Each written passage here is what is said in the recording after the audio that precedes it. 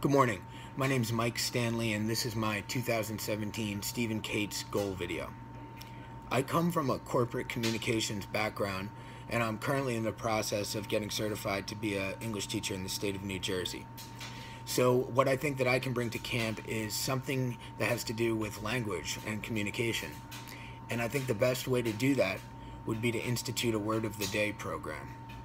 This can be voluntary or it can be suggested, um, but I envision gathering campers around for maybe two minutes and um, introducing them to a new word and giving them hints on how they can implement this word into their vocabulary and make it theirs forever. I subscribe to an English website that gives me a word every day, and uh, although I am a word nerd, uh, I think that it's exciting and new, and it's knowledge that can be built upon, which makes it all the more important.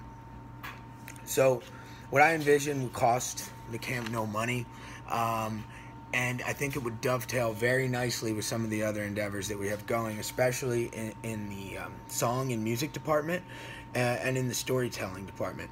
Uh, I would encourage campers after um, teaching them about the word um, to use it that day. And um, there's a trick. If you use a word three times, it can be yours forever.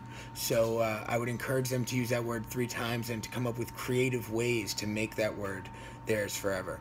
Um, I don't think I need to explain to anyone how important communication and words are.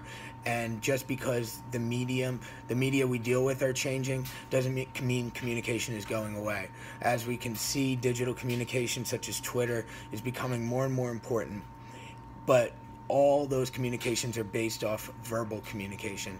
And I would love to work with campers in a fun um, and educational way to improve their communication skills over the summer. Um, so I hope to hear from you. Um, have a good day. Bye.